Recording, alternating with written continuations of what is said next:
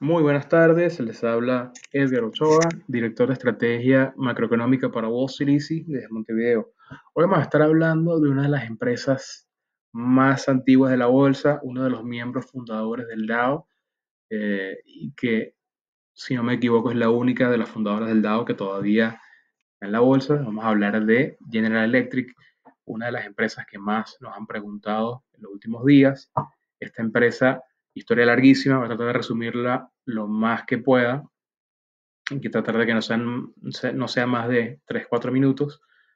Fundada en 1892, eh, fundadores claves, porque hay varios, pero Charles Coffin, primer CEO de la empresa, JP Morgan, fundador también de JP Morgan del banco, y Thomas Edison. Así que digamos que la empresa fue fundada por gente muy notoria, gente muy pesada en la época y que todavía hoy eh, disfrutamos de muchas de las cosas que, que crearon, que diseñaron, que fundaron. Entonces, la empresa básicamente se encargaba de procesos eléctricos y después de, eh, digamos, producir algunas, algunas invenciones importantes, eh, empezó a dedicarse a, a, distintos procesos industriales. Así que General Electric eh, tradicionalmente es una de las representantes del sector manufacturero, el sector industrial de los Estados Unidos, eh, básicamente conocida por su generación eléctrica, conocida por sus trenes, conocida por sus electrodomésticos.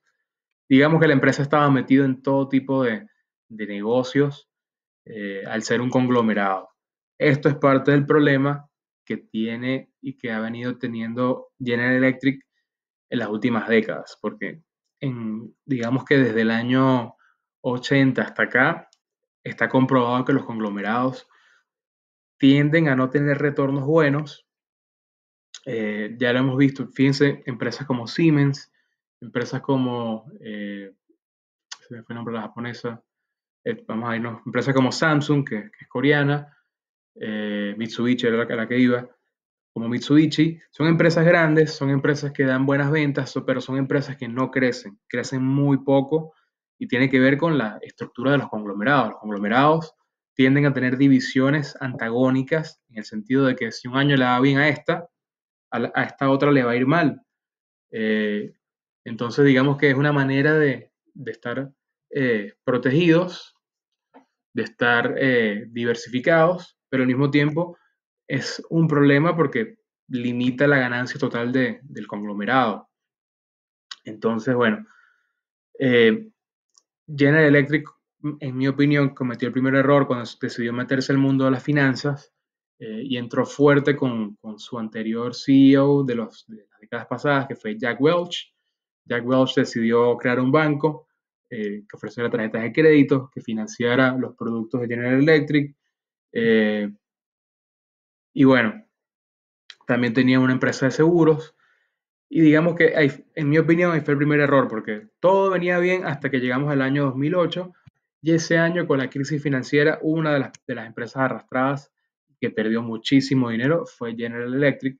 Así que, digamos que, que por allí eh, viene parte del problema. Después, eh, en 2015 deciden invertir en petróleo porque en 2015 el petróleo volaba, eh, era el momento de invertir, compraron Baker Hughes a un precio exorbitante y hasta la fecha se sabe que se, ha perdido eh, de esa inversión cerca de 8.4 millardos de dólares. Así que digamos que eh, la diversificación y la estructura de conglomerado para General Electric en los últimos años le ha costado muchísimo dinero, muchísimo, muchísimo dinero, y es lo que está causando el problema actual. Eh, el CEO posterior a Jack Welch, que fue Jeff Imlet, se dio cuenta del problema. Jeff Imlet vende buena parte de, los, de los, assets, de los activos en finanzas de, General Electric, vendió el banco, vendió el seguro, eh, la tarjeta de crédito la, hizo cotizar en bolsa, eh, que fue Synchrony Financial. Eh, esta fue una manera de levantar capital directamente de los mercados. Y digamos que con Jeff Imlet comenzó la, reestructura de, la empresa. Sin embargo, Jeff Imlet también tuvo un montón de errores, comenzando por, por los gastos. Es conocido que Jeff Imlet viajaba en el avión privado de la empresa y traía otro atrás por si acaso, pues en caso de emergencia, lo cual evidentemente nos dice que la, eh, dirección de la empresa tenía muy poco eh, estructura a la hora de frenar gastos. Probablemente pensaban que la empresa estaba parada en otro tipo de, eh, de posición, pero no, la empresa estaba muy, muy endeudada y con muchos problemas para generar flujo de caja positivo. Jeff Imlet se retira, perdón, le deja, eh, le, deja el, trono básicamente al, ya les voy a decir, se me fue el nombre del, siguiente CEO, le deja el trono a, perdón, un segundo, a John Flannery, otro, eh, otra persona con eh, con gran experiencia en, en, GE, toda su carrera en GE, al igual que Imlet y, Jack Welch. Em, el principal error, en mi opinión, con él fue de que trató de hacer cambios para que la empresa durara 100 años más. Y de hecho, en, su, en el Día del Inversor, de, que está, no, no es acá, esta vela que viene acá. Esta vela que viene acá roja es del Día del Inversor eh, General Electric tiende a ser uno cada 7 a 10 años y generalmente ahí se anuncian cambios importantes y él convoca este día del inversor solo para decir de que él va a tratar, va a reestructurar la empresa para que dure 100 años más. No se va a concentrar tanto en los movimientos a corto plazo de la acción. Evidentemente el mercado al escuchar eso eh, detesta el anuncio. Fíjense cómo sigue la, caída libre de, la acción hasta acá, y aquí ven otra vela roja bastante fuerte el 29 de octubre, ese día lo despidieron. Eh, la empresa eh, lo cesó, eh, no, no hubo ningún voto en contra de la decisión, o sea que fue una decisión unánime por parte del board de, de GE, y a partir de aquí asume Larry Culp, me parece que es el primer presidente y chairman de, de, de, de GE que no, no venía de la empresa, lo contrataron de otra, venía de Danaher. Eh, él, además de, trabajar en Danaher como presidente, eh, era profesor universitario en Harvard, así que digamos que una persona que venía de un perfil totalmente distinto a, a lo que ha venido manejando GE, que ha sido gente que trabaje dentro de GE, que tenga la cultura GE, y esto nos dice de que GE simplemente se, parece se dieron cuenta de que capaz la cultura interna eh, no es la mejor.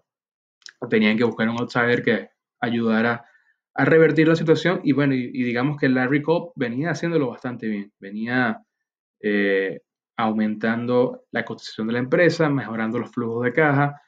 Eh,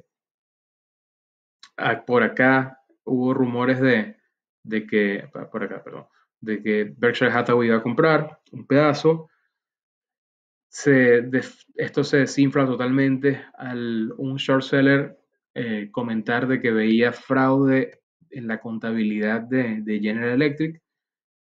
Para los que no saben, eh, Berkshire Hathaway, la empresa de, Warren Buffett, ha tenido varios problemas por, por temas contables eh, con otras empresas que han comprado, como Kraft Heinz o como Wells Fargo. Entonces, apenas sale el reporte, se desinfla totalmente porque lo más probable es que Warren Buffett pase de tener que lidiar con otro problema legal de este tipo. Y bueno, igual la empresa logró recuperarse hasta febrero pre-COVID y ahí básicamente se va a su punto más bajo en la historia. Eh, ¿Por qué?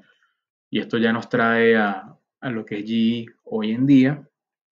GE está diversificada en cuatro sectores claves, que son el sector de generación eléctrica, eh, la generación de energías renovables, el sector de aviación y el sector de, eh, salud. Estos sectores todos tienen eh, o, son cerca del 24 al 27% de la facturación, así que está básicamente todas tienen el mismo peso para, para allí. Y la que crecía más rápido hasta el año pasado era aviación, Evidentemente con el coronavirus, aviación fue la más golpeada, tuvo una caída de la facturación del 44%. las fabricantes de, aviones no están pidiendo tantas turbinas que son las que fabrica allí, como solían pedir. Generación eléctrica cayó 11%, energía renovable cayó 3%, eh, salud cayó 21%. Evidentemente, con el coronavirus hay gente haciéndose menos estudios eh, no urgentes, que son para lo que se usan las máquinas de allí. Entonces, bueno, un desastre total de, trimestre, eh, pero el, el, el CEO de G decía que lo más importante era que el flujo de caja no cayó tanto como ellos esperaban, eh, y por allí viene porque la empresa subió de manera considerable el... Vamos a abrirlo acá. Subió de manera considerable en las, últimas semanas. Acá perdí un poco por, las caídas del mercado, ¿no? Pero Fíjense cómo la acción se fue del nivel de 6. ¿De 6 se puede decir? Ver. Sí, del nivel de 6 al nivel de 7 en dos días, básicamente. No, en una semana. Y esto viene por el hecho de que el, CEO de G dice que estamos, están muy cerca de tener un flujo de caja positivo. Entonces, eh, fíjense el flujo de caja el trimestre anterior 1.7 millardos de dólares de pérdida de, capital. Y esto ha sido algo notorio en, las últimas décadas para allí. Le cuesta mucho tener un flujo de caja positivo y esto viene por todos los gastos que, la empresa ha tenido en los últimos años. Eh, como les dije, ha sido gastos sin parar. Por eso trajeron a una persona de afuera que tratara de, parar la hemorragia de capital que tiene allí. Eh, entonces, bueno, digamos que la empresa, si logra efectivamente volver a, flujo de caja positivo, va a ser algo muy, muy, muy bueno y que debería de regreso darle un poco de, de felicidad y de, de, razones para ser optimistas a los accionistas de, de GE. Ya después de haberles explicado un contexto bastante largo de, qué puede estar pasando con GE, vamos a, ver un poco el gráfico. Fíjense algo, el punto pivote que funcionaría como, em, como piso 6, 10, vamos a decir 620. Estamos a 625, o sea que está muy cerca de este piso. ¿Y a dónde puede llegar allí a corto plazo si, si logra tener algo de momento en alcista? Bueno, tenemos acá un punto pivote en 670 y tenemos el promedio móvil de, 50 días en 670 también, están coincidiendo. Entonces allí tenemos eh, a corto plazo una oportunidad de ganancia interesante si, si se recupera el momentum para, la empresa. Em, a ver. Y el punto más alto marcado fue 720 desde el inicio de... No, por acá. Creo que un poco más entonces. Fue el punto alto, más, más alto marcado em, desde el inicio de la pandemia. Mira, 850 fue el punto más alto. Entonces, ¿qué tiene que pasar para que allí llegue a esos niveles de nuevo? Eh, bueno, pasa totalmente por las aerolíneas, que, que estas se, se, vean en un mejor eh, estado para que puedan seguir comprando aviones. Pasa porque Boeing tenga su 737 MAX de nuevo volando, que sigue retrasado. Eh, y pasa por el hecho de que la empresa logre maximizar sus em, sus órdenes por cumplir. G tiene unas, lo que se llama en inglés un, backlog, unas órdenes en la cola, vamos a decirle, por, procesar, de 380 millardos de dólares. Es muchísimo dinero que en distintas órdenes que G tiene que procesar y entregar. Así que digamos que parte de por qué G, y yo les digo que yo soy full disclosure, yo tengo acciones allí, parte de por qué me gustó G e, e, invertí en G hace tiempo es por el hecho de que toda esta, esta cantidad de órdenes por procesar nos dice de que la, empresa debería tener un flujo de ventas constante, interesante, y que si una persona logra reestructurar la empresa de una manera en la que empiece de nuevo a generar flujo de caja positivo, como se generaba en los tiempos de, al principio de Jeff Imlet y en los tiempos de Jack Welch, esta es una empresa que fácilmente debería retornar al nivel de 10, al nivel de 12 a corto plazo.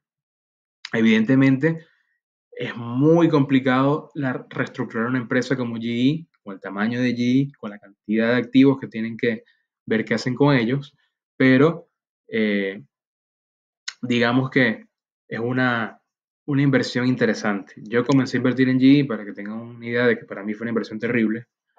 No, no es que me les esté diciendo que, que esto ha sido una, una, inversión tremenda, pero yo comencé a invertir en GE por el, por el tiempo de, por acá, por cuando se hizo el Investors Day. O sea, ahí va. y bueno, le he ido tradeando obviamente con opciones, con haciendo double down, vendiendo lo que hacía de double down, pero a estos niveles con un PI tan bajo me parece que es una acción eh, muy interesante por el hecho de que, como les dije, tiene una, eh, una facturación pendiente muy grande. Eh, y bueno, vale la pena poner algunas fichas siempre para, para ver si, si se nos da este cambio de tendencia que tenemos ya tiempo esperando eh, y que venía bastante bien. Larry Cup lo venía eh, trayendo bastante bien y bueno, pasó el coronavirus. Pero entonces, bueno, me fui ahí un poco eh, por otro camino que no quería ir.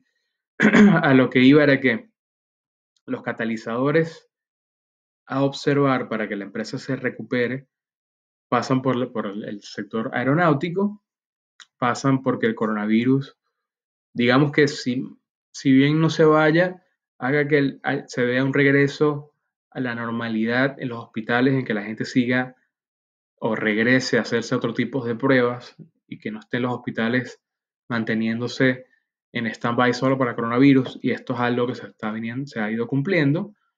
Em, y bueno, lo otro es que los países puedan seguir invirtiendo en generación eléctrica. Hoy en día con el coronavirus, eh, los, los presupuestos de, los distintos países se están viendo muy complicados por todo lo que tienen que gastar en, materia sanitaria y por eso digamos que ha afectado GE no tanto como en otros, en otros sectores, pero una caída del 11% en la facturación es una caída todavía considerable. Entonces, bueno, en resumen, Comprar GE al precio actual es un descuento, pero que va a requerir paciencia eh, y, que, y, que, va a llevar tiempo en que se logre reestructurar y volver a algún tipo de, de normalidad en la empresa. Una vez esa normalidad se consiga, todos estos niveles que ven acá en amarillo, que son puntos pivotes, deberían ser puntos a conquistar por la acción. Eh, así que bueno, esperemos que, que por el bien de, la empresa y por el bien de la economía de Estados Unidos, porque esto de verdad es una representación de, lo que está pasando el sector industrial, eh, logren recuperarse y, bueno, veamos otra vez GE ser lo que solía ser hace décadas. Bueno, se despide Edgar Ochoa, nosotros investigamos